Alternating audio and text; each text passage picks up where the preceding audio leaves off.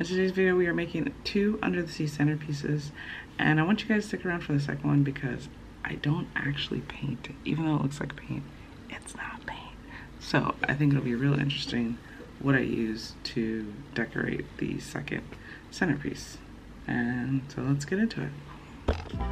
So the first thing you want to do is take your 13 inch wood letter from Michaels. These letters actually come white originally, but this one I had in my stash from a previous project and I spray painted it teal. You want to glue down all your seashells at the base of the letter. So I'm not doing it in any particular pattern. I am just gluing these down randomly, however Them to look. It doesn't really matter. Um, I'm trying to use, I think, about five or six seashells and then the starfish shell I am going to use for the center. Once you have your seashells glued down, you want to glue down all your little beads. Um, these beads came in a variety, like a big bag, in a variety of shapes and colors, and the colors matched my theme, so I'm just randomly picking out different colors and different shapes and gluing them down in a random pattern to the letter.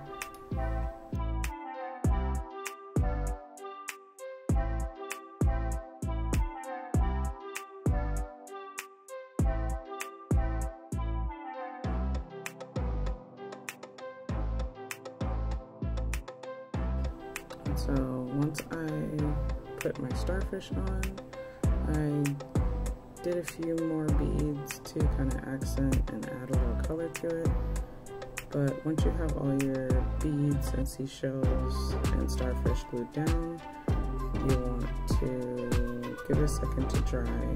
You want to take your Mod Podge and a bristle brush and dry brush the Mod Podge onto the top of the beads and the seashells. This will kind of give it a little tackiness to adhere to the glitter, but you don't want globs of Mod Podge on there.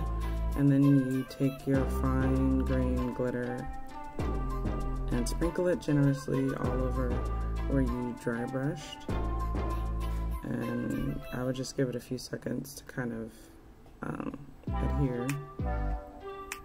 Once you do that, turn it over and lightly tap it on the back so that any excess glitter can come off. And it kind of gives it a little shine and a little texture. Now at this point you could stop, um, but I'm a little extra.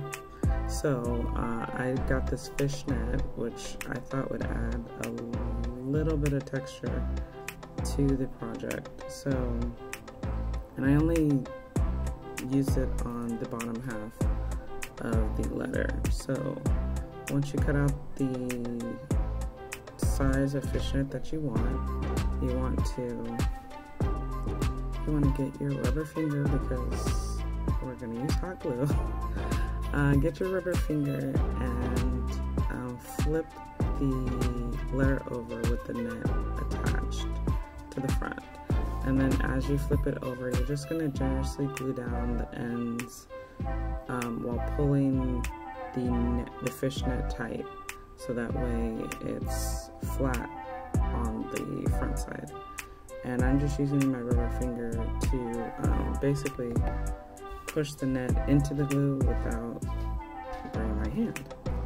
So you're gonna do that all around, cutting off any excess net that you have.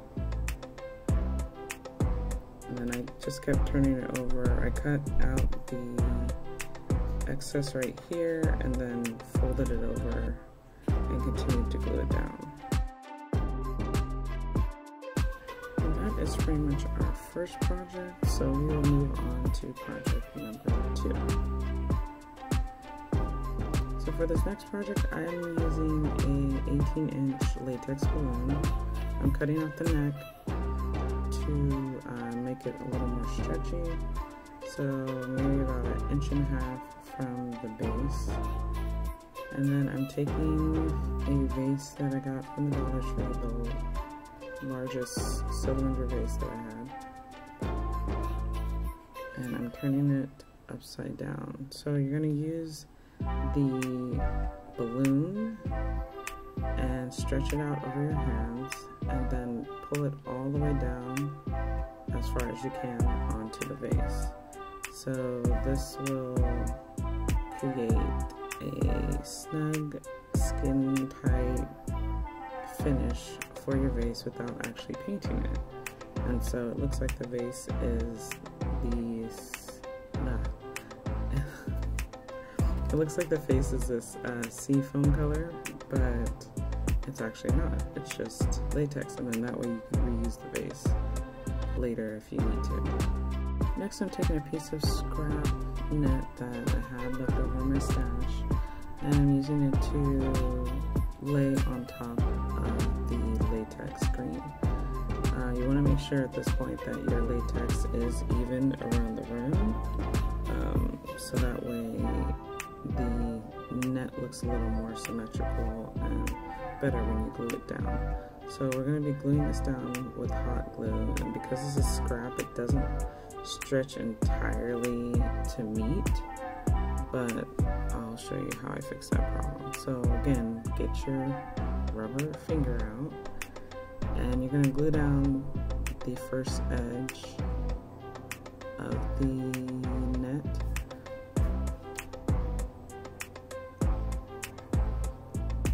and I'm just gluing this down um, as close to the edge as possible and then I'm going to go back and glue down the middle, air, middle areas and then glue down the north end. So now that we have it all glued down, we're to use this starfish to fill in the gap that I was talking about. You guys, if you are using a net that completely covers and you don't have to use the starfish, you don't have to, um, you know, do this part, but since I have a gap, I need to use the starfish, so you could use regular sized seashells. And right here, I mistakenly glued my candlestick holder to the bottom of the vase before cutting out a hole for it. So uh, later on it'll actually not stick to the rubber balloon, but you'll see what I'm talking about. So once you have your starfish glued down, um, you just want to finish gluing down the net and make sure that it's as close to the starfish as possible so then it looks seamless. And then I'm taking some more of those beads that I had from the first project and just kind of accenting and covering up the fact that there's a gap in between. Um, and then once you do that, uh, you're pretty much done. I am going to show you guys how I cut out the bottom. But you just want to glue down your beads in a random pattern. Um, you know, symmetrical, random. It all depends on if you're using one uniform color or if you're using a mix of colors. Um, a mix of colors could be random, but I'm using all purple, so I tried to make it as symmetrical as possible while still covering up my little gap in the middle. So now this is the part where I had to cut out the bottom of the latex balloon and then put hot glue on my candlestick holder and place that on top and just press down firmly for about 5 to 10 seconds. And it should adhere. Gorilla Glue is really good at adhering to glass so.